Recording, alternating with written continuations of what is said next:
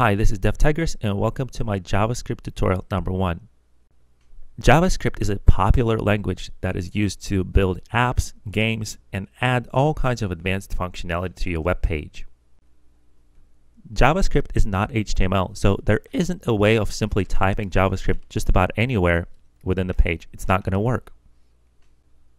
But HTML provides us with a few reserved places where we can type our JavaScript code. One of those places is right within some of the HTML tags. For example, the onload event. And we can type our JavaScript here. We can also type JavaScript within multiple attributes within the same tag that represent different JavaScript events. For example, if somebody clicked on the body tag, there's an event for that, and it's called onClick. And here we can also type JavaScript. This gives us flexibility in terms of when our JavaScript code is executed.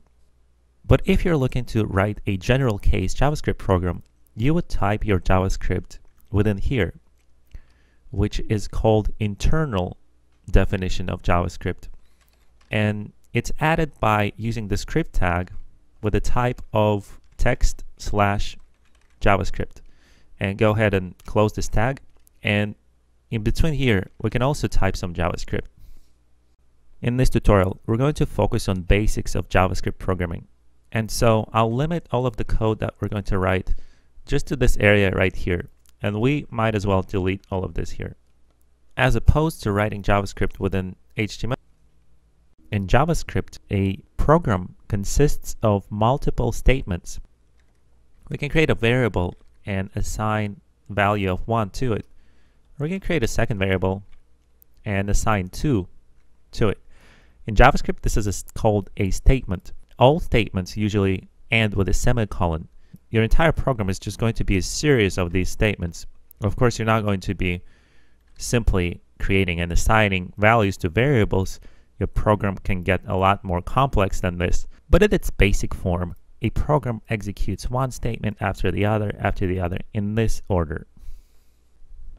In JavaScript, you'll be writing a lot of code. You're not going to be limited just a few statements. Over a long period of time, you'll start noticing that you'll be actually forgetting what the code that you have written does. And comments is a great way to remind yourself what you were thinking when you're writing that code. A comment in JavaScript starts with double slash like this, and it's basically a description of what you have done on that line of code. Created a variable called a and assigned value 1 to it. After the double slash, you can type any text you want. It's not actually going to be executed by JavaScript at all. It's just a text comment. But there's also a second format for adding comments, and it starts with a slash and a star. And it works exactly in the same way. For example, we created variable b and assigned value 2 to it. A comment that starts with slash star has to also end with star slash in the reverse order. Star slash. If you don't do this, it will actually grab the next line of code all the way up until the closing script tag and consider this a comment also, even though this is a line of JavaScript code. We don't want to do that. We're going to end it right here with a star and a slash. This way, this line opens up again. This allows us to create multi-line comments. It doesn't matter what it is that we type here.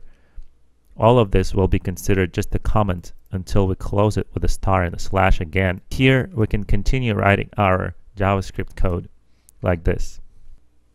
In this simple example, we don't even need comments. And this is just, in JavaScript, it's possible to assign text to variables. For example, let's create a variable called t and assign some text to it.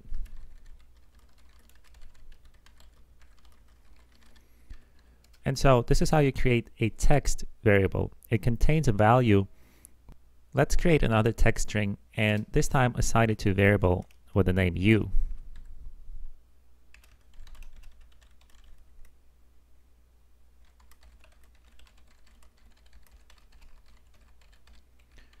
And remember, each statement will always close.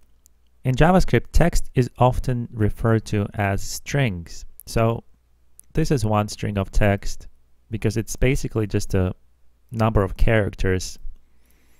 And this is the second string of text. And just like with a mathematical addition here, text in JavaScript can also be added to each other. For example, let's create a variable called v and t plus, you can add text right into the equation and add up variables at the same time. So at this point, v will actually contain this string, then a space, and so far, we covered where to add JavaScript on our web page, and we work with some numeric and text-based variables. In my next tutorial, we're going to cover JavaScript in more detail, and gradually we'll get into more advanced subjects. So thanks for watching guys so far, and I hope to see you in my next tutorial.